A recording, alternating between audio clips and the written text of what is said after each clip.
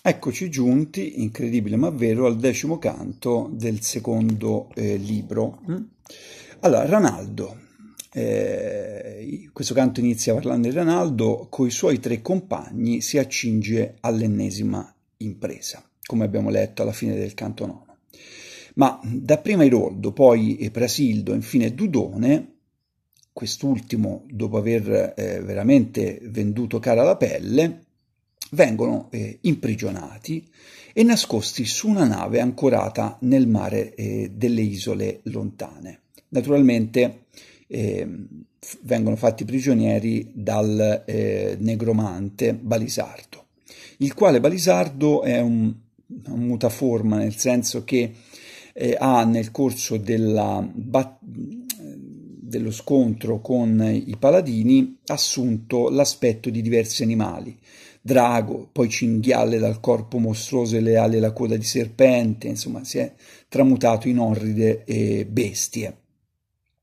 A un certo punto eh, assume addirittura l'aspetto del giovane Dudone e qua si ha una, mm, quasi il tema del, eh, del doppio, si è, tratt- è, trattato il tema del doppio, ok?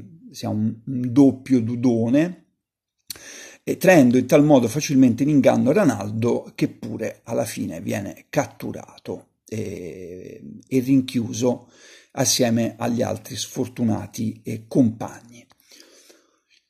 Come Pinocchio nella, nello stomaco della balena incontra Geppetto, qui invece eh, Ranaldo incontra Astolfo, il conte inglese, che era stato precedentemente preso da Balisardo eh, quando, ehm, quando, Adriano cadde con Ranaldo, in quel profondo eh, invece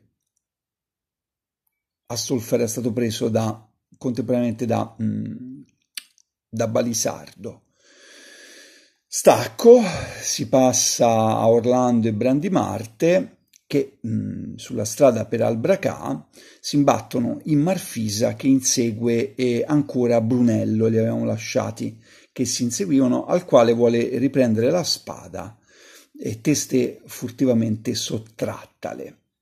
Ancora una volta eh, Brunello eh, adegua la sua velocissima corsa a quella della furente Marfisa e eh, in tal modo la eh, burla e la schernisce. Questo è grosso modo il, mm, il, riassunto di quello che accade appunto nel decimo canto del secondo libro. Ma andiamo a cominciare.